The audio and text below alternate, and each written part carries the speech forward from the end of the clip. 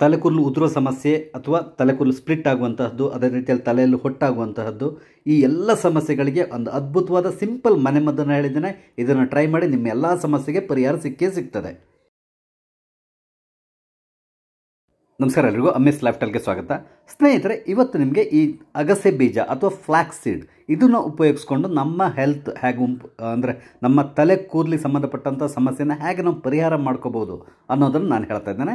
Flax seed ಬಗ್ಗೆ ಹೇಳಬೇಕು ಅಂತ ಹೇಳಿದರೆ ಇದು ಪುರಾತನ ಕಾಲದಿಂದ ನಮ್ಮ ಜನರು ಉಪಯೋಗಿಸ್ತಾ ಇರುವಂತಹದ್ದು. ಇದನ್ನು ನೀವು ಉಪಯೋಗಿಸೋದ್ರಿಂದ ಇದರಲ್ಲಿ ಹಲವಾರು ವಿಟಮಿನ್ಸ್ ಮತ್ತು ನ್ಯೂ ನಮಗೆ ಬೇಕಿರುವಂತಹ ನ್ಯೂಟ್ರಿಯೆಂಟ್ಸ್ಗಳು ಸಿಗ್ತದೆ. ಅದರ ಜೊತೆಯಲ್ಲಿ ಇದರಲ್ಲಿ ಒಮೆಗಾ ತ್ರೀ ಅನ್ನೋ ಒಂದು ಅಂಶ ಇರ್ತದೆ. ಅದು ನಮ್ಮ ಕೂದಲ ಬೆಳವಣಿಗೆಗೆ ಕೂಡ ಸಹಾಯ ಮಾಡ್ತದೆ. ಇದೆಲ್ಲದರ ಜೊತೆಯಲ್ಲಿ ಇದನ್ನು ನೀವು ತಿನ್ನೋದ್ರಿಂದ ನಿಮಗೆ ಜೀರ್ಣಕ್ರಿಯೆದು ಚೆನ್ನಾಗಾಗ್ತದೆ, ಅದು ಬೇರೆ. ನಾನು ಇವತ್ತು ಹೇಳ್ತಾ ಇರೋದು, ಇದನ್ನು ಉಪಯೋಗಿಸ್ಕೊಂಡು ನಾವು ತಲೆ ಕೂದಲು ಉದುರುವ ಸಮಸ್ಯೆ ಇರ್ಬೋದು, ಅಥವಾ ತಲೆ ಹೊಟ್ಟು, ಅಥವಾ ಬೇರೆ ಬೇರೆ ಸಮಸ್ಯೆಗಳು, ತಲೆ ಕೂದಲಿಗೆ ಸಂಬಂಧಪಟ್ಟಂಥ, ಶೈನಿಂಗ್ ಇಲ್ಲದೆ ಇರುವಂಥದ್ದು ಎಲ್ಲ ಸಮಸ್ಯೆಗೆ ಪರಿಹಾರವನ್ನು ಈ ಒಂದು ಫ್ಲ್ಯಾಕ್ಸ್ ಸೀಡಿಂದಾಗಿ ನಾವು ಹೇಗೆ ಪಡ್ಕೊಳ್ಬೋದು ಅನ್ನೋದಕ್ಕೆ ಅಂತೇಳಿ ನಾನು ನಿಮ್ಗೆ ಹೇಳ್ತಾ ಇದ್ದೇನೆ. ಈ ವಿಡಿಯೋನ ಸಂಪೂರ್ಣವಾಗಿ ನೋಡಿ ನಿಮಗೆ ಭಾಳಷ್ಟು ಉಪಯುಕ್ತವಾದಂತಹ ಒಂದು ವಿಡಿಯೋ ಇದು. ಒಂದು ಪಾತ್ರೆಯನ್ನು ತಗೊಳ್ಳಿ. ಇದಕ್ಕೆ ಒಂದು ಮೂರು ಚಮಚದಷ್ಟು ಈ ಫ್ಲ್ಯಾಕ್ಸಿಡ್ ಸೀಡ್ ಅಥವಾ ಈ ಅಗಸೆ ಬೀಜನ ಹಾಕ್ಕೊಳ್ಬೇಕು.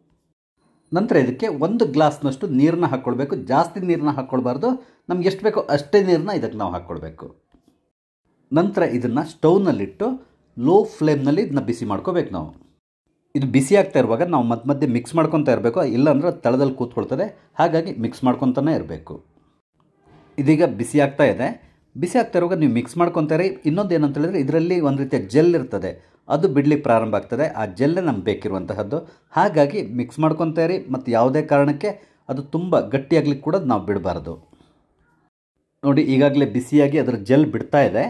ಇಷ್ಟು ಕನ್ಸಿಸ್ಟೆನ್ಸಿ ಬಂದರೆ ಸಾಕಂದ್ರೆ ನೋಡ್ತಾ ಇದ್ದೀರಲ್ಲ ಲೈಟಾಗಿ ಆ ಜೆಲ್ ಬೀಳ್ತಾ ಇರೋದು ಸ್ಪೂನಿಂದ ಸೊ ಈಗ ನಾವು ಇದನ್ನು ಬಂದ್ ಮಾಡ್ಬೋದು. ಬಂದ್ ಮಾಡಿ ಸ್ವಲ್ಪ ತಣ್ಣಗಾಗಲಿಕ್ಕೆ ಬಿಟ್ಬಿಡ್ಬೇಕು ನಾವು. ಈಗ ಸ್ವಲ್ಪ ತಣ್ಣಗಾಗಿದೆ ಫುಲ್ಲು ತಣ್ಣಗಾಗಲಿಕ್ಕೆ ಬಿಡಬೇಡಿ, ಸ್ವಲ್ಪ ಬಿಸಿ ಇರುವಾಗಲೇ ನೀವು ಇದನ್ನು ಸೋಸ್ಕೊಳ್ಬೇಕು. ಸ್ಟ್ರೈನರ್ ಅಥವಾ ಬಟ್ಟೆಯಿಂದ ಸೋಸ್ಕೊಳ್ಳಿ.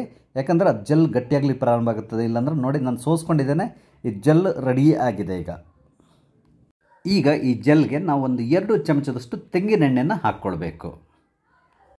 ತೆಂಗಿನೆಣ್ಣೆ ಹಾಕ್ಕೊಂಡ್ಮೇಲೆ ಚೆನ್ನಾಗಿ ಮಿಕ್ಸ್ ಮಾಡಬೇಕು. ಅಂದರೆ ತೆಂಗಿನೆಣ್ಣೆ ಮತ್ತು ಈ ಜೆಲ್ ಇದೆಯಲ್ಲ, ಸಂಪೂರ್ಣವಾಗಿ ಮಿಕ್ಸ್ ಆಗಬೇಕು. ಸ್ವಲ್ಪ ಗಟ್ಟಿಯಾಗಿರ್ತದೆ ಆ ಜೆಲ್. ಹಾಗಾಗಿ ಸರಿಯಾಗಿ ಬೀಟ್ ಮಾಡಿ ನೀವು ಇದನ್ನು ಮಿಕ್ಸ್ ಮಾಡ್ಕೊಳ್ಬೇಕು. ಇಲ್ಲ ಅಂತೇಳಿದರೆ ಜೆಲ್ ಸಪ್ರೇಟಾಗಿ ಇರ್ತದೆ, ತೆಂಗಿನೆಣ್ಣೆ ಸಪ್ರೇಟಾಗಿರ್ತದೆ ಹಾಗಾಗಿ ಸರಿಯಾಗಿ ನೀವು ಇದನ್ನ ಮಿಕ್ಸ್ ಮಾಡ್ಕೋಬೇಕಾಗ್ತದೆ. ನೋಡಿ, ಈ ಫ್ಲ್ಯಾಕ್ಸ್ ಸೀಡ್ನ ಉಪಯೋಗಿಸ್ಕೊಂಡು ರೆಡಿ ಮಾಡಿರುವಂತಹ ಈ ಮನೆ ಮದ್ದು ತಯಾರಾಗಿದೆ. ಇದನ್ನು ನಾವು ಏನು ಮಾಡಬೇಕು ಅಂದರೆ ನಮ್ಮ ತಲೆಯ ಅಂದರೆ ಸ್ಕಾಲ್ಪಿಗೆ ಚೆನ್ನಾಗಿ ತಿಕ್ಕೊಳ್ಬೇಕು. ಅದಾದರೂ ಅದ್ರ ಜೊತೆಯಲ್ಲಿ ಕೂದಲ ಬುಡದಿಂದ ಕೂದಲು ತುದಿವರೆಗೂ ಕೂಡ ಇದನ್ನು ಹಾಕಿ ಚೆನ್ನ ಮಾಡಿ ಮಸಾಜ್ ಮಾಡಬೇಕು ನೀವು. ಯಾಕಂದರೆ ಇದನ್ನು ಮಸಾಜ್ ಮಾಡಿದ್ರೇ ಅದು ವರ್ಕ್ ಆಗೋದು. ಹಾಗೆ ಮಸಾಜ್ ಮಾಡಿ ನಂತರ ನೀವು ಅಟ್ಲೀಸ್ಟ್ ಒಂದು ಎರಡು ಗಂಟೆ ಹೊತ್ತು ಬಿಟ್ಟು ಬಿಡಬೇಕು ಇಲ್ಲಾಂದರೆ ಮಿನಿಮಮ್ ಒಂದು ಗಂಟೆ ಹೊತ್ತು ಬಿಟ್ಟು ನಂತರ ನೀವು ಸ್ನಾನ ಮಾಡಬೇಕು. ಇಲ್ಲಾಂದರೆ ರಾತ್ರಿ ಹಾಕಿ ಬೆಳಿಗ್ಗೆ ಕೂಡ ನೀವು ಇದನ್ನು ಮೈಲ್ಡ್ ಶ್ಯಾಂಪು ಹಾಕಿ ಸ್ನಾನ ಮಾಡಿ ತೆಗೆದುಬಿಡಿ ಸಾಕು. ನಂತರ ನಮ್ಗೆ ಗೊತ್ತಾಗ್ತದೆ ಕೂದಲು ನಿಮ್ಮ ಕೂದಲು ತುಂಬ ಶೈನಿಂಗ್ ಪ್ರಾರಂಭ ಆಗ್ತದೆ. ಅದರ ಜೊತೆಯಲ್ಲಿ ಏನಾದರೂ ಕೂದಲು ಉದುರೋ ಸಮಸ್ಯೆ ಇದ್ದರೆ ಅದು ಕ್ರಮೇಣ ಕಮ್ಮಿ ಆಗಲಿಕ್ಕೆ ಶುರುವಾಗುತ್ತೆ ವಿರಳವಾಗಿದ್ದರೆ ಕೂದಲು, ಆ ವಿರ, ಕೂದಲು ಚೆನ್ನಾಗಿ ಬೆಳಿಲಿಕ್ಕೆ ಶುರುವಾಗುತ್ತೆ. ಇದ್ರ ಜೊತೆಯಲ್ಲಿ ಕೂದಲು ಕಪ್ಪು ಕೂಡ ಆಗ್ತದೆ. ಹಾಗಾಗಿ ಇದನ್ನು ನೀವು ಅಟ್ಲೀಸ್ಟ್ ವಾರದಲ್ಲಿ ಎರಡರಿಂದ ಮೂರು ಸಾರಿ ಈ ರೀತಿ ಮಾಡ್ಕೊಂಡು ಬರ್ತಾ ಇದ್ದರೆ ಖಂಡಿತವಾಗಿ ನಿಮಗೆ ಈ ತಲೆ ಕೂದಲು ಉದುರುವಂಥ ಸಮಸ್ಯೆಗೆ ಖಂಡಿತವಾಗಿ ಪರಿಹಾರ ಸಿಗ್ತದೆ. ಸಾಧ್ಯ ಆದಷ್ಟು ಈ ಜೆಲ್ಲನ್ನು ಫ್ರೆಶ್ ಆಗಿ ಮಾಡಿಕೊಂಡು ಉಪಯೋಗಿಸಿ ಅದರ ಇಫೆಕ್ಟ್ ತುಂಬ ಚೆನ್ನಾಗಿರ್ತದೆ.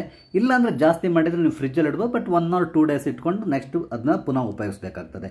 ಇನ್ನೊಂದು ಯಾರು ಬೇಕಾದರೂ ಉಪಯೋಗಿಸ್ಬೋದು, ಯಾವುದೇ ರೀತಿಯ ಸಮಸ್ಯೆ ಇಲ್ಲ. ಒಂದು ಒಂದು ಎಂಟು ಹತ್ತು ವರ್ಷದ ಮೇಲಿನ ಮಕ್ಕಳಿಂದ ಹಿಡಿದು ಮುದುಕರವರೆಗೂ ಉಪಯೋಗಿಸ್ಬೋದು. ನಿಮಗೆ ನನ್ನ ಈ ವಿಡಿಯೋ ಇಷ್ಟ ಆದರೆ ದಯವಿಟ್ಟು ಲೈಕ್ ಮಾಡಿ ಶೇರ್ ಮಾಡಿ, ಹಾಗೆ ಇಲ್ಲಿವರೆಗೆ ನೀವು ನನ್ನ ಚಾನಲ್ ಸಬ್ಸ್ಕ್ರೈಬ್ ಮಾಡಿಲ್ಲ ಅಂದರೆ ದಯವಿಟ್ಟು ಸಬ್ಸ್ಕ್ರೈಬ್ ಮಾಡಿ, ನಾನು ಹಾಕುವಂಥ ಎಲ್ಲ ವಿಡಿಯೋ ನೋಡಿ ನಂಗೆ ಸಪೋರ್ಟ್ ಮಾಡಿ. Thank you